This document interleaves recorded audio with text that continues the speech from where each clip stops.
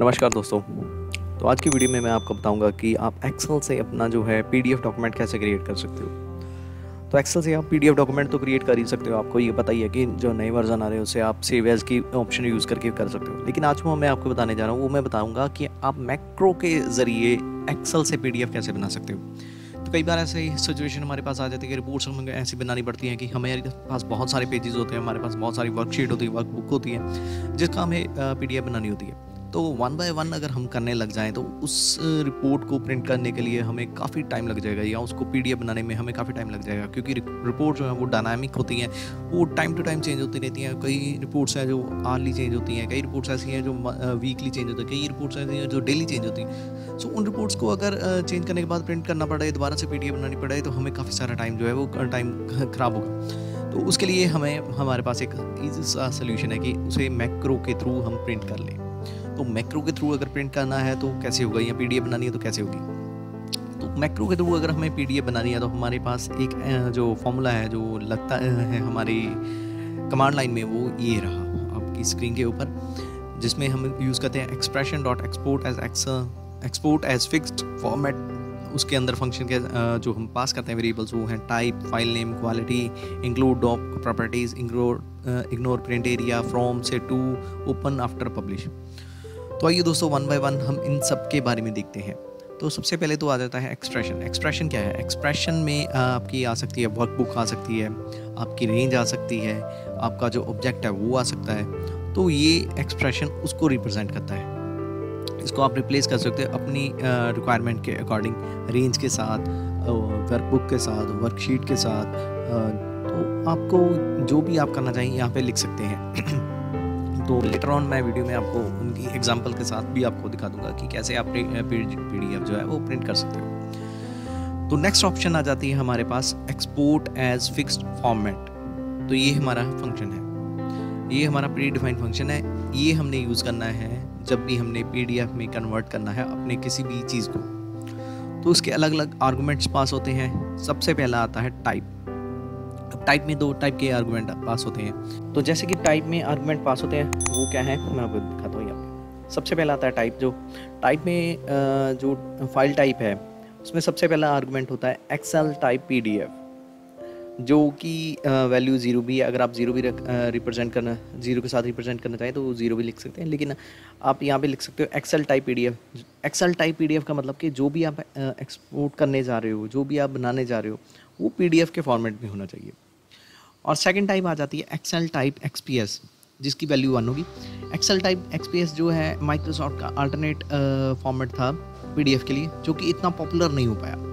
सो इन दोनों में से एक आपको पास करना है एक्सेल टाइप पीडीएफ या एक्सेल टाइप एक्सपीएस इन दोनों में से आप कौन सी आउटपुट लेना चाहते हो, वो आपने यहाँ पे जो है, वो टाइप कर देनी है. इस जो फॉर्मूले के बाद. टाइप में आपने यहाँ पे लिख देना है एक्सेल टाइप पीडीएफ या एक्सेल टाइप एक्सेल एस तो यहाँ पे हो गया. फ़ाइल नेम है आपकी, जो भी आपकी फ़ाइल नेम है डायरेक्टली आपने जो भी अपने अपना फ़ाइल का नाम रखना है, वो यहाँ पे आ जाएगा. जैसे भी आप रखना चाहो डेली रिपोर्ट रखना चाहो अपडेट के साथ रखना चाहो डेट के साथ क्या आएगा आपको अलग अलग थोड़ा सा अमेंडमेंट करनी पड़ेगी या फ़ाइल नेम अपने अकॉर्डिंग भी आप जो भी रखना चाहें रैंडमली रख सकते हैं। फ़ाइल नेम के साथ क्या होता है कि बाय डिफ़ॉल्ट जिस भी डायरेक्टरी में आपकी जो एक्सेल पड़ी हुई है, जो एक्सेल की फ़ाइल पड़ी हुई है, जिसे आप पी प्रिंट करने जा रहे हो तो वहीं पर वो बाय डिफ़ॉल्ट जो है आपकी पीडीएफ बन जाएगी। अगर आप चाहते हो कि आपकी कस्टम डायरेक्टरी में हो अपनी, आपकी मर्ज़ी से हो तो आप एक अपना पाथ भी डिफाइन कर सकते हो कि इस पर्टिकुलर पाथ पे ही जो आपकी पी है, वो क्रिएट हो। या अगर आप चाहें कि जो जहाँ पे अभी आपकी एक्सेल पड़ी हुई है तो वहाँ पर कोई अलग फोल्डर में फोल्डर में जो है एक्सपोर्ट हो तो आप क्या करोगे? इस जो वी बी ए का एक फ़ंक्शन आता है एप्लीकेशन डॉट पाथ उसको यूज़ कर लोगे। यानी कि बाय डिफ़ॉल्ट जो, जहाँ पे भी आपकी जो फ़ाइल पड़ी हुई है एक्सेल की, उसका पाथ उठा ले। और उसके बाद अगर आप किसी और फोल्डर में करना चाहो, उसे अमेंड करके आप भी कर सकते हो। तो इस तरीके से आप अपना जो फ़ाइल का नाम है, और पाथ है, वो डिफ़ाइन कर सकते तो फ़ाइल नेम के बाद आ जाती है आपकी फ़ाइल की क्वालिटी फ़ाइल क्वालिटी में दो ऑब्जेक्ट्स हैं, वो पास होते हैं, या आर्गूमेंट पास होते हैं। सबसे पहला आ जाता है, उसमें है एक्सेल क्वालिटी स्टैंडर्ड यानी कि जो आपकी स्टैंडर्ड क्वालिटी है, उसमें पीडीएफ जो है, वो होनी चाहिए, बननी चाहिए। या सेकंड ऑप्शन आती थी एक्सल क्वालिटी मिनिमम जो मिनिमम फ़ाइल की क्वालिटी हो, उसमें प्रिंट हो जाएगी आपकी पीडीएफ तो ये दो आर्गूमेंट जो है, वो पास होंगे क्वालिटी में। यहाँ पे आप देखोगे क्वालिटी में ये दो आर्गूमेंट पास हो गए उसके बाद आ जाता है include doc properties include doc properties simple है कि आपका जो डॉक्यूमेंट के प्रॉपर्टीज़ हैं, वो इंक्लूड होनी चाहिए पीडीएफ फ़ाइल में या नहीं। इसका सिंपल पास होता है ट्रू या फॉल्स तो यहाँ पे आप ट्रू या फॉल्स पास करोगे तो आपकी जो डॉक्यूमेंट प्रॉपर्टीज़ है, वो उसके साथ इंक्लूड हो जाएँगी या नहीं होंगी, ये आपकी ऑप्शन के ऊपर डिपेंड करता है। तो नेक्स्ट ऑप्शन आती है इग्नोर प्रिंट एरियाज़ कि आप प्रिंट एरियाज़ को इग्नोर करना चाहते हो मतलब कि आप जो है कि अपने हिसाब से जो जैसे भी बाय डिफ़ॉल्ट प्रिंटिंग के ऑप्शन बनती है, वैसे रखना चाहते हो, या आप प्रिंट एरिया के अकॉर्डिंग प्रिंट करना चाहते हो। उसके बाद आपकी ऑप्शन आ जाती है? फ्रॉम और टू की। फ्रॉम और टू सिंपली जैसे कि आपको पता ही है कि कौन से पेज से लेकर कौन से पेज तक आपको प्रिंट चाहिए। अगर आप फ्रॉम और टू स्किप भी कर दें तो बाय डिफ़ॉल्ट जितने भी पेजेस अवेलेबल होंगे, वो सारे के सारे जो हैं, वो पीडीएफ में बन जाएँगे कन्वर्ट हो जाएँगे। अगर आप फ्रॉम और टू डिफाइन करते हैं कि मेरे को इतने पेज से इतने पेज तक चाहिए तो वो उतने पेज तक जो है प्रिंट पीडीएफ को कन्वर्ट करेगा। अगर इन केस आपके प्रिंट के जो पेजेस कम हैं, लेकिन आपने यहाँ पे डिफाइन कर दिया कि मेरे को वन से हंड्रेड तक चाहिए, लेकिन आपके प्रिंट के पेजेस जो है फिफ्टी हैं, या पीडीएफ के पेजेस जो फिफ्टी हैं तो वो ऑटोमेटिकली फिफ्टी पेज ही क्रिएट करेगा। ये नहीं है कि वो फिफ्टी पेज ब्लैंक क्रिएट कर देगा। वो वन से लेकर फिफ्टी तक आपके पेज जो है, वो क्रिएट कर देगा। और उसके बाद ऑप्शन आ जाती है ओपन आफ्टर पब्लिश यानी कि जब आप प्रिंट पी डी डॉक्यूमेंट आपका बन जाए तो उसको ओपन कर ले। अगर आप इसको डिफाइन कर दो कि ओपन हो तो वो ऑटोमेटिकली जो है, जैसे ही एज इट इज़ बनेगी, वो फ़ाइल जो है आपकी ओपन हो जाएगी। अदरवाइज़ जो वो फ़ाइल है आपकी, वो जो बन के एज इट इज़ हो जाएगी बंद रहेगी। तो ये दोस्तों इसे एक एग्जांपल के ज़रिए समझते हैं। तो मैंने यहाँ पे अपनी पीडीएफ ले ली, मैं एक नई पीडीएफ ओपन एक्सेल ओपन कर लेता हूँ। एक्सेल मैंने ओपन कर ली, यहाँ पे मैं अपने डेवलपर टैब में जाता हूँ। डेवलपर टैब में मैं इंसर्ट कर लूँगा एक एक्टिव एक्स ऑब्जेक्ट जिससे कि मैं कमांड लाइन क्रिएट करूँगा, या मैं इसे कस्टमाइज़ भी कर सकता हूँ, सिर्फ़ कोड के ज़रिए कर सकता लेकिन मेरे को बटन के थ्रू ज़्यादा पसंद है तो मैं इसे बटन के ज़रिए ही करना पसंद करूँगा। तो मेरे को बटन के साथ काम करना ज़्यादा पसंद है तो मैं यहाँ पे एक बटन क्रिएट किया है तो मैंने इसे डबल क्लिक करूँगा डबल क्लिक करते ही मेरे पास जो बटन का फ़ंक्शन है, वो ओपन हो जाएगा। यहाँ पे मैं जो भी अपने प्राइवेट सब में लिखना चाहूँ, वो लिख सकता हूँ। तो यहाँ पे मैं एक टेस्टिंग के लिए आपको यहाँ पे दिखाता हूँ कि मैं यहाँ पे एक वैसे एक मैसेज डिस्प्ले करता हूँ, कि मेरा मैसेज डिस्प्ले होता है या नहीं। पे मैं लिखता हूँ मैसेज बॉक्स। हाय अब ये ध्यान दीजिएगा कि मैंने इस फ़ाइल को जो है एक्सेल एस में नहीं सेव किया इसे मैंने एक्सेल एस एम में सेव किया है। यानी कि मैं मैक्रो इनेबल्ड फ़ाइल में सेव किया है, क्योंकि मेरे को यहाँ पे मैक्रो इनेबल चलानी थी मैंने इसे मैक्रो फ़ाइल में सेव किया है। तो बटन पे मैंने हाई का मैसेज लगाया तो मैं इसे करूँगा क्लिक जैसे मैंने इसे क्लिक किया तो देखिए मेरे पास मैसेज आ गया हाई का। तो ये मेरे पास मैसेज आ चुका है। इसके बाद मैंने क्या करना है? इसे पीडीएफ में कन्वर्ट करना है। तो पीडीएफ में कन्वर्ट करने के लिए मेरे पास क्या फ़ंक्शन था? ये देखिए। ये वाला फ़ंक्शन था। तो इस फ़ंक्शन में यह रख लेता हूँ यहाँ पर। ये देखिए, मैंने रख लिया इसको फ़ंक्शन को यहाँ पे मैंने इसे कमेंट करके रख लिया। अब यहाँ पे सबसे पहले आता है एक्सप्रेशन एक्सप्रेशन में मैं अब क्या करने जा रहा हूँ? मैं करूँगा कि मेरी जो एक्सेल की शीट है जहाँ पे जो मर्ज़ी लिखा हो जो भी लिखा हो यहाँ पे सपोज़ करो मैं लिख लेता हूँ one two three four four five six seven eight nine और ये टेन। तो यहाँ पे मैं लिख लेता हूँ उनके कॉरस्पॉन्डिंग कोई भी अक्षर D E E F G H I J और के चलो यहाँ पे मैं रख लेता हूँ ऐसे। तो ये हो गए मेरे आ, जो मैंने रखने थे नाम। या कंटेंट अपने फ़ाइल के तो मेरे कंटेंट हो गए। अब यहाँ पे मैं लिखूँगा अपना फ़ंक्शन तो फ़ंक्शन लिखने के लिए मेरे को करना क्या है? यहाँ पे जाना है। अब जाने के बाद यहाँ पे मेरे को लिखना है, उस फ़ंक्शन के बारे में, यानी कि मेरे को लिखना है, जैसे कि अब मेरे पास ये वर्कशीट ओपन है, ये वर्क बुक ओपन है तो यहाँ पे मैं लिख लूँगा दिस वर्क बुक अब देखिए, जैसे ही मैंने इसे लिख लिया तो ये मेरी ऑटोमेटिकली हो गई कि मेरी इसी वर्क बुक पे जो मैं काम कर रहा हूँ, वो प्रिंट होना चाहिए। अगर मैं चाहूँ कि मेरी पर्टिकुलर शीट ओपन प्रिंट हो, जैसे कि आप मेरी देख लोगे शीट वन है यहाँ पे तो मैं शीट वन चाहता हूँ तो यहाँ पे मैं अपनी शीट वन का नाम भी डिफाइन कर सकता हूँ। या फिर मैं यहाँ पे डायरेक्टली लिख सकता हूँ active sheet active sheet dot तो ये एक्टिव शीट होगी मेरी तो उसके बाद मैंने लिखना है अपना function export as fixed format तो ये मेरा हो गया यहाँ पर। अब इसे मैं मल्टीपल लाइन में लिखूँगा, इसलिए मैं क्या करूँगा, इसे डिवाइड कर लूँगा। तो यहाँ पे मैं अंडर स्कोर लगाऊँगा। तो सबसे पहले मेरे को बताना है उसको टाइप उसकी टाइप बताऊँगा मैं। टाइप में मैंने क्या बताना है, जैसे कि मैंने बताया था X L S as P D F देखिए मैं आपको बता दूँ अगेन तो एक्सेल की टाइप जो है वो पी डी एफ़ चाहिए मेरे को। Excel type P D F यहाँ पर मैं लिख लूँगा। Excel type P D F तो ये होगी मेरी।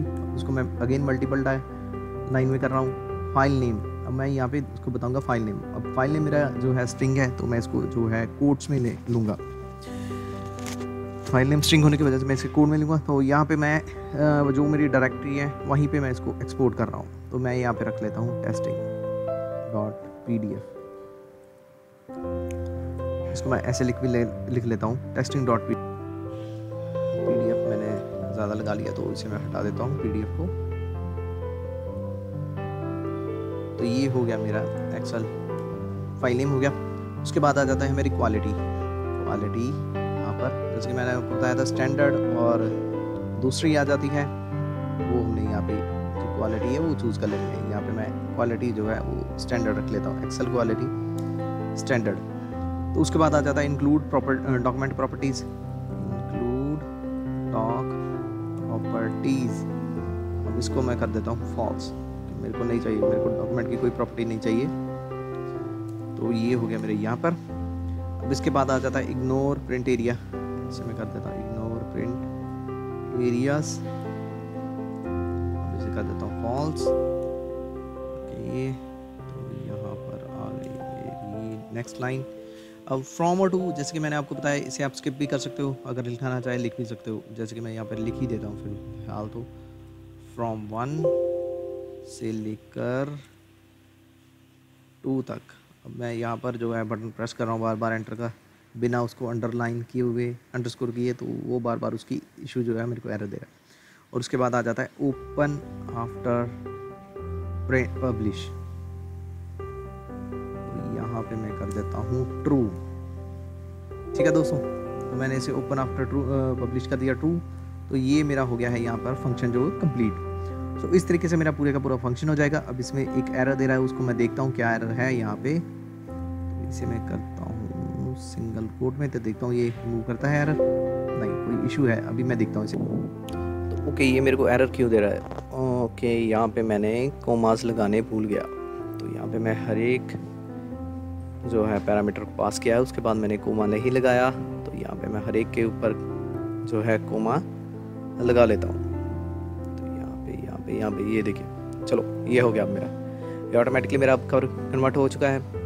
तो ये मेरी बन गई है सारी की सारी फ़ाइल इसे मैं कर लेता हूँ सेव अब मैं जाता हूँ वापस अपने फ़ंक्शन पे, इसे मैं डिज़ाइन मोड से हटाता हूँ और चेक करता हूँ ये फ़ंक्शन काम करता है कि नहीं। लेट्स सी अब मैंने कमांड बटन पे प्रेस किया। ये देखिए। तो इसने क्या किया? इसने जो मेरा डाटा था, उसे प्रिंट कर दिया और साथ में कमांड बटन पे प्रिंट कर दिया। क्योंकि मैंने इसका कमांड बटन प्रिंट करने के लिए कहा था। अगर आप चेक करना चाहें यहाँ पे मैं अब चेंज करके दिखाता हूँ आपको। ये देखिए ये देखिए और ये देखिए। अब इसे मैं करता हूँ कमांड बटन पे अगेन प्रेस ये देखिए। सो so, इसने जो है प्रिंट कर दिया है मेरा एक्सेल का जो भी डाटा था पीडीएफ में। आई होप आपको यहाँ से पता लग गया होगा कि ये फ़ंक्शन कैसे काम करता है। अब इसे अगर आप कस्टमाइज़ करना चाहें, जैसे कि मैंने आपको बताया कि अगर आप इसे कस्टमाइज़ करना चाहें, इस पर आप क्या कर सकते हो? फ़ाइल का नेम जो है वो पाथ डिफाइन कर सकते हो। जैसे कि अभी यहाँ पे जो मेरी फ़ाइल थी एक्सल टू पीडीएफ ये मैंने एक फ़ोल्डर क्रिएट किया था। यहाँ पे ऑटोमेटिकली ये बन गया है फ़ोल्डर अब यहाँ पे अगर मैं एक फ़ोल्डर क्रिएट कर लूँ, जैसे कि इसका नाम मैं रख दूँ वन टू थ्री अब इसमें मैं जो है अपना प्रिंट करना चाहूँ फ़ाइल तो यहाँ पे मेरे को क्या करना होगा? फ़ाइल नेम में मेरे को यहाँ पे थोड़ा सा कस्टमाइज़ करना होगा। एप्लीकेशन डॉट पाथ तो ये ऑटोमेटिकली मेरा जो पाथ है, उसे फेच कर लेगा। उसके बाद मैं लगाऊँगा ये ये एक एम परसेंट का साइन क्योंकि मेरे को अमेंड करनी है लाइन तो यहाँ पे मैं एक फोल्डर का नाम देना है। तो यहाँ पे मैं रख दूँगा ऐसे इस चीज़ को। तो इसके बाद क्या करेगा, ये जो मेरा फोल्डर है वन टू थ्री ये देखिए, ये खाली है ना अभी? यहाँ पे ये फ़ाइल को क्रिएट कर देगा। तो यहाँ पे मैं टेस्ट करके देखता हूँ। यहाँ पे मैं करता हूँ। कमांड बटन पे प्रेस ओ, ओ थोड़ा सा एरर लेट्स सी कहाँ पे है ये एरर क्यों और क्यों आया ये एरर एप्लीकेशन डॉट पाथ यहाँ पर एरर आया। तो यहाँ पे जो एरर था वो इस वजह था, था क्योंकि मैंने अपना एप्लीकेशन डॉट पाथ लिख लिया। था यहाँ पे लिखना था एप्लीकेशन बात की जगह पे active workbook active workbook dot path तो यहाँ पे अब जो है वो ऑटोमेटिकली क्रिएट करेगा। लेट्स सी अब ये करता है कि नहीं। ओके यहाँ पे हमने कर लिया क्लिक अब जैसे मैंने इस कमांड के बटन पे क्लिक किया ये मेरी फ़ाइल ओपन हो गई और यहाँ पे देखिए आप फोल्डर में। ये फोल्डर में मेरा जो फ़ाइल है वो भी उसने क्रिएट कर दी। अगर आप इसे डायनामिक और करना चाहें तो आप इसे के साथ इसको डेट में अमेंड कर सकते हैं टाइम अमेंड कर सकते हैं। सो so, इस चीज़ को हम थोड़ा सा और कस्टमाइज़ करेंगे। इसके साथ हम लगाएँगे रैंडम फ़ंक्शन रैंडम के साथ देखेंगे, हमारी और फाइलें जनरेट हो रही हैं। तो यहाँ पे मैंने रैंड फ़ंक्शन लगा लिया, उसके, मैं अब इसको कर लेता हूँ ओपन को फॉल्स क्योंकि बार बार मेरे को फाइलें जनरेट करनी है तो यहाँ पे मैं इसे फॉल्स द टाइम बिंग इसे फॉल्स कर लेता हूँ इस फ़ंक्शन को। तो यहाँ पे मैंने इसे कर लिया फॉल्स अब मैं करूँगा अपने फोल्डर फ़ाइल को जनरेट ये देखिए, मैंने फ़ाइल जनरेट की, यहाँ पर देखें हम। ये मेरी फ़ाइल जनरेट हो गई है एक, और यहाँ पर मैं अगेन क्लिक करता हूँ। और ये पब्लिश कर रहा है, ये देखिए, यहाँ पर इसने सेकेंड फ़ाइल भी क्रिएट कर दी। और इसे मैं अगेन करूँ चाहे तो ये देखिए मेरी थर्ड फ़ाइल भी क्रिएट होगी। सो वन बाय वन जितने भी मैं चाहूँ जिस तरीके से भी, भी मैं चाहूँ ये मैं इसको कस्टमाइज़ कर सकता हूँ अपने इस कोड को। आई होप आपको ये हमारी वीडियो पसंद आई होगी कि मैक्रो के ज़रिए हम कैसे पी जो है क्रिएट कर सकते हैं। तो मेरे को तो प्रॉब्लम आ रही थी अलग अलग शीट्स को जनरेट करने के लिए अलग अलग रिपोर्ट्स को जनरेट करने के लिए। तो अगर आपको भी ऐसी कोई प्रॉब्लम आ रही है तो आप इस तरीके से अपने मैक्रो के साथ इस फ़ंक्शन को यूज़ करके अपनी पीडीएफ जो है वो क्रिएट कर सकते हो। आई होप आपको वीडियो पसंद आई होगी। अगर आपको हमारी ये वीडियो पसंद आई है, हमारे चैनल को सब्सक्राइब करें लाइक करें शेयर करें अपने दोस्तों के साथ। और अगर आप हमारे कोड को एक्सटेंड करते हैं और भी यूज़ करते हैं तो काइंडली हमारे जो कमेंट सेक्शन है, उसमें ज़रूर हमें बताएँ कि आपने इस कोड को कैसे और एक्सटेंड किया, ताकि और दोस्तों को भी पता लग सके कि इस कोड को कैसे एक्सटेंड किया जा सकता है। मिलते हैं दोस्तों नेक्स्ट वीडियो में धन्यवाद।